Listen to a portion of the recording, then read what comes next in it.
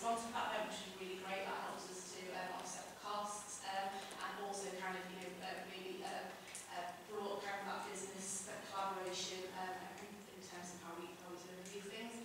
Um, so a number of other events, I'm gonna, not going to dwell on, on a lot of these, but we have an event called Radio Local in this card. Again, about celebrating place, celebrating the stories of the place, um, um, and a uh, team of artists who work with the community to of those stories and then there's a full day of radio show. It was